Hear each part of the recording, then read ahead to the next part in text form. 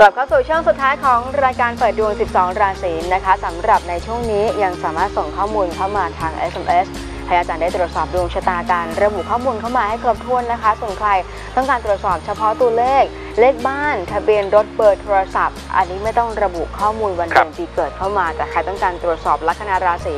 ต้องบอกด้วยนะคะว่าเกิดที่ไหนช่วงเวลาประมาณเท่าไหร่นะคะ มากันที่ SMS กันต่อเลยดีกว่าค่ะ แต่ของ SMS เกิดวันที่ 15 เมษายน 2539 เวลาเกิด8โมงเช้าวันจันทร์ ถามเรื่องคนรอบข้าง ถามเรื่องการเรียนอาชีพที่เหมาะสม การทำบุญเสริมความรักเป็นยังไง ทุกเรื่องค่ะอ่าปีนี้ถ้ายังโสดอยู่รักใหม่ไม่ค่อยดีนะนะครับในทางกับกันนะแต่ถามว่ามีโอกาสจะวนเวียนไหมเกี่ยวข้องนะปีนี้หนีลำบากนะครับในทางกับกันถ้ามีคู่อยู่แล้วเนี่ย ช่วงอายุย่าง 20นะฮะก็ต้องบอกว่าในแง่ของความสัมพันธ์ก็ถือว่าใช้ได้ การทำบุญเสริมปีจรนี้เน้นเรื่องของน้ำคนรอบข้างเป็นยังไง เน้นคนที่อยู่ในระดับที่ต่ำกว่าเรานะบริวารเราก็ได้มีโอกาสจะเกิดปัญหาความขัดแย้ง สิ่งนี้ที่แนะนำให้ทำเมื่อสักครู่นี้ก็จะช่วยผ่อนหนักให้เป็นเบาได้ในระดับหนึ่ง การเรียนควรจะเรียนอะไร ดาวจันทร์สวยนะ ลักษณะงานบริการเช่น ยกตัวอย่างนะครับ ก็อย่างพวกพยาบาลเนี่ยใช่นะครับแอร์โฮสเตสสจ๊วตพวกนี้ใช่ reception ใช่ หรือเป็นเฉพาะทางเกี่ยวข้องกับพวกทหารเรือตำรวจน้ำประมงทำพวกชิปปิ้ง อันนี้คือสิ่งที่เด่นการทำบุญเสริมพูดไปแล้ว SMS ต่อมาค่ะ คุณประวิน 15 พฤศจิกายนนะคะ 2510 เวลาเกิด น่าจะประมาณตี3 45วันพุธ จะบวชวันที่ 18 ตุลาคมนี้อืมนะแล้วก็ถามถึงอาชีพหลังบวชที่เหมาะสมความรักเนื้อคู่อ่าอย่าเพิ่งกังวลเรื่องงานนะโมทนานะครับนะตั้งจิตตั้งใจให้ดีอืมอาชีพที่เด่นเป็นคนวันอังคารในทางโหราศาสตร์นะครับ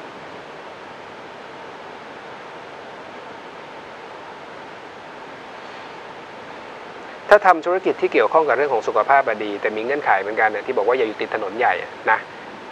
เป็นลักษณะพวกขายส่งเป็นหลักก็ได้นะครับหรือว่าใช้ช่องทางผ่านโซเชียลถ้ามีสถานที่ตั้งร้านก็อยู่ตามตรอกซอกซอยนะครับหรือว่าในตลาดที่ทำเลดีๆ อันเนี้ยเด่นจริง ๆ แล้วก็ดวงนี้ถ้าอยากจะเรียนโหราศาสตร์ผมก็เชียร์นะครับ SMS ต่อมาค่ะ จ้าของ SMS นะคะเกิดวันที่ 18 พฤศจิกายน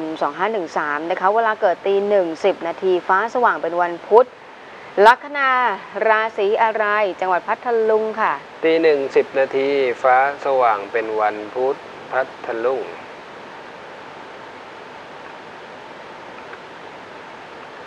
เอ่อเป็นคนวันขอไปลัคนาสถิตอยู่ในราศีกัน นะกันย์ช่วงนี้ก็อิทธิพลของราหูที่ทับดวงชะตาอยู่ก็ใช้ชีวิตด้วยความไม่ประมาทนะรอให้ราหูย้ายออกช่วงต้นปีไปแล้วดีขึ้น step หนึ่ง step ที่สองพฤหัสย้ายทับลัคนาในช่วงเดือนสิงหาปี 59นะอันนั้นแหละชีวิตจะเปลี่ยนในทางบวกเลยนะครับ การทำบุญเสริมปีจรนี้ ซื้อพวกธูปเทียนไฟแช็กไม้ขีดไฟถวายวัด ให้คนได้ใช้ในการสักการะบูชาครับเลขบ้าน 647 ค่ะ หลังวันเกิดเนี่ยซื้อน้ำดื่มถวาย 15 ขวดนะ 47 จันทร์อ่าพุธเสาร์เป็นคู่สมพลไม่เสียนะครับ ก็หมายถึงชื่อเสียงเด่นดัง เลข 6 ดาวศุกร์หมายถึงเงิน หมายถึงความมีเสน่ห์แต่รถ 686 ค่ะ ด้วยความเคารพฮะสุขราหูคือความมัวเมาลุ่มหลง อาจจะเกี่ยวข้องกับเรื่องของกิเลสตัณหาการมารมณ์ได้ด้วยซ้ำไป อันนี้ใช้น้ำพระพุทธมนต์แตะที่เลข SMS ต่อมาค่ะ คุณธงชัยนะคะ 24 กันยายน 2522 ค่ะ เวลาเกิดตี4 37 นาที ฟ้าสว่างเป็นวันจันทร์ ทำอาชีพอะไรดีนะเป็นครูดีหรือเปล่า คุณครู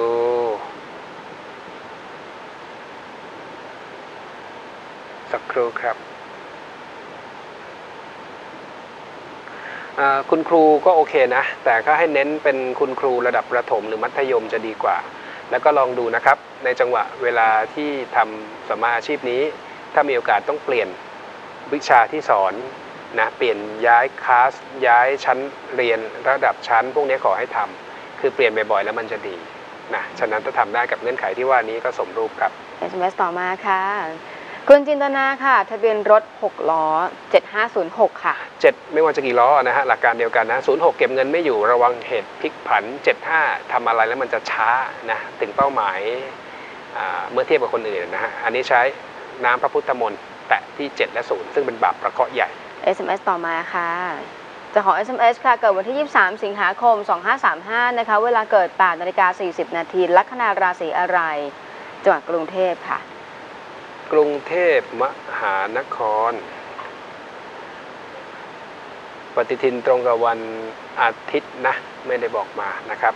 ถ้าไม่ใช่วันอาทิตย์กรุณาส่งมายืนยันคำถาม ของคุณเนี่ยเป็นคนลัคนาราศีกันนะ กันก็อย่างที่บอกไปแล้วนะครับ ช่วงนี้ก็อดทนหน่อยนะรอให้มีจังหวะในช่วงกลางปีหน้านะรอให้ดาวใหญ่โยกย้ายสองดวงนะชีวิตจะค่อยๆ เปลี่ยนแปลงในทางที่ดีขึ้นครับ SMS ต่อมาค่ะ คุณจรัสพรนะคะ เกิดวันที่ 26 มีนาคม 2514 ค่ะ เวลาเกิด8นาฬิกาตรงนะคะ วันพฤหัสบดีทุกเรื่องค่ะ 26 มีนา 14 ปฏิทินตรงกับวันศุกร์ครับรบกวนตรวจสอบนะครับ มาในส่วนของอีเมลกันบ้างนะคะ จากคุณสุภายา เกิดวันที่ 25 พฤษภาคม 2527 เวลาเกิดนะคะ6โมงตรงวันศุกร์ถามว่าสอบ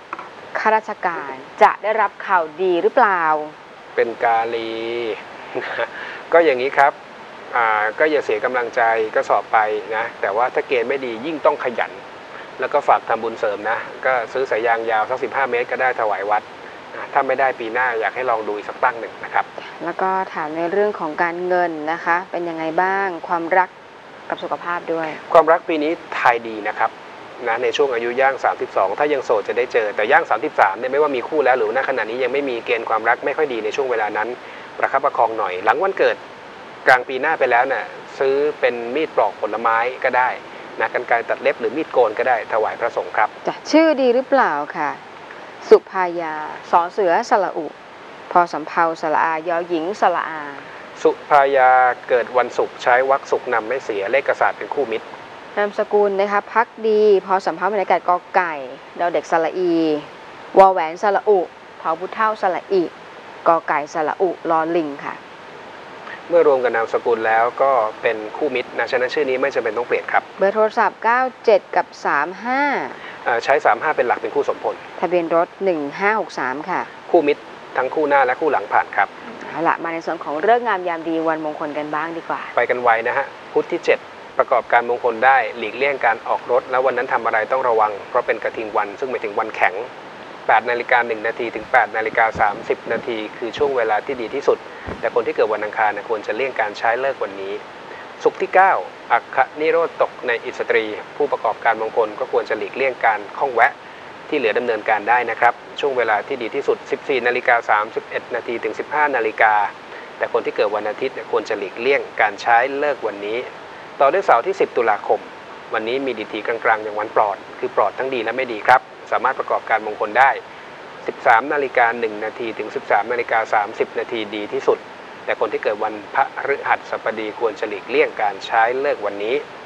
ต่อเนื่องด้วยอาทิตย์ที่ 11 หรือ 11 นะครับ วันนี้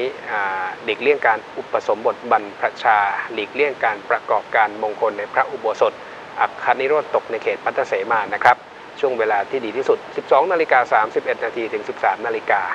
แต่คนที่เกิดวันจันทร์ควรจะหลีกเลี่ยงการใช้เลิกวันนี้ ต่อด้วยจันทร์ที่ 12 วันนี้มีดีทีกลางๆ อย่างวันปลอด คือปลอดทั้งดีและไม่ดีก็สามารถประกอบการมงคลได้ ช่วงเวลาที่ดีที่สุดครับ 14นาฬิกา31นาทีถึง 15นาฬิกาแต่คนที่เกิดวันอังคารเนี่ยควรจะหลีกเลี่ยงการใช้เลิกวันนี้ สุดท้ายช่วงครึ่งแรกของเดือนตุลาคม คือวันพุธที่ 14 การไหลโยกเป็นวันธงชัย เลิกล่างมีดิถีที่ดีทั้งวันอมฤคโชค วันฟู เพียงแต่ว่าอัคคนิโรธตกในป่า วันนี้หลีกเลี่ยง 2 ประเด็นนะเลี่ยงออกรถแล้วก็ไม่ควรประกอบการมงคลในป่า ช่วงเวลาที่ดีที่สุดครับ 16นาฬิกาอ่าขออภัย6นาฬิกา31 นาทีถึง 7 นาฬิกาแต่คนที่เกิดวันเสาร์นี่ยควรจะหลีกเลี่ยงการใช้เลิกวันนี้แล้วก็เป็นในส่วนของเรื่องงานยามดีนะคะ ช่วงตั้งแต่ต้นเดือนถึงกลางเดือนตุลาคมนั่นเองนะคะ แล้วก็คุณผู้ชมท่านไหนที่อาจจะพลาดชมรายการไปนะ หรือว่าอยากชมรายการย้อนหลังนะคะ ก็เข้าไปที่ YouTube พิมพ์ตามนี้เลยนะคะ Miracle Channel เว้นวรรคทีวีไทยแลนด์นะคะ รวมไปถึงคุณผู้ชมที่อยากติดตามความเคลื่อนไหว กิจกรรมต่างๆ ข่าวสารต่างๆ รายละเอียดต่างๆ ของทาง Miracle นะคะ ก็เข้าไปกดถูกใจ เข้าไปคลิกไลค์กันได้นะคะ ที่ Facebook Fanpage Miracle Channel TV นั่นเอง นอกจากการส่งข้อมูลเข้ามาทาง SMS หรือว่าโทรเข้ามาลงทะเบียนแล้วนะคะ ในส่วนของจดหมาย email address แล้วก็เว็บบอร์ดรวมไปถึงในส่วนของนะคุณผู้ชมที่จะฝากข้อมูลดวงชะตาเข้ามาเนี่ยก็สามารถส่งข้อมูลเข้ามาตามช่องทางที่บอกเมื่อสักครู่ แต่อย่าลืมนะคะ ระบุข้อมูลให้ครบถ้วนแล้วก็รวมไปถึงเบอร์ติดต่อกลับด้วยเราเองก็จะนำมาทยอย ตอบในช่วงของท้ายรายการกันแบบนี้นะคะรวมไปถึงคุณผู้ชมเองติดตามชมรายการได้ทุกวันจันทร์ถึงวันศุกร์8นาฬิกา30 นาทีถึง 10นาฬิกาตรงวันนี้ก่อนจะจากกันไป ฝากไว้สำหรับข้อคิดคติธรรมแม้วันหนึ่ง ชีวิตไม่เหลือใครก็อย่าท้อถอดใจให้ใครเขา ถึงสุดท้ายจะมีเหลือแค่ตัวเราก็ช่างเขา เราอย่าทิ้งตัวเองพอเราสองคนลาไปก่อน สวัสดีค่ะ สวัสดีครับ